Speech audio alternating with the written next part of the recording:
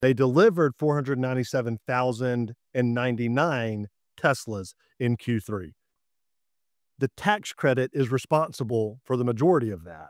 And this was a bit expected. So what's going to happen is all of that demand that was created by the uh, the ending of the of the seven thousand five hundred dollar tax credit, I think that we're going to see a Q4 that's going to be abysmal. The tax credit has caused this crazy uh, unpredictable market for the for the EV industry. The CEO of Ford agrees with you. He just went on record and said that he predicts EV sales are just going to absolutely fall off a cliff the next few months. I'm watching my dad buy a model. He ordered a Model Y all because of seeing me drive one. Like you said, when we get into Q1, Q2 of next year, and we get these tax credits behind us and things normalize, the volatility goes away, values start to stabilize.